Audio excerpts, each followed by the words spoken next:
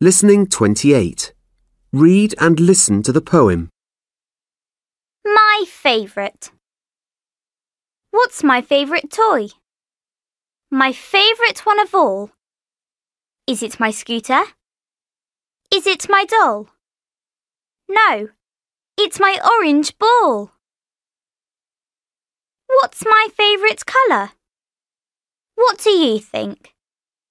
Is it yellow? Is it white? No, it's the colour pink. What's my favourite animal? Try to guess the word. Is it a zebra? Is it a cat? No, it's a lovely bird. Holly, age seven.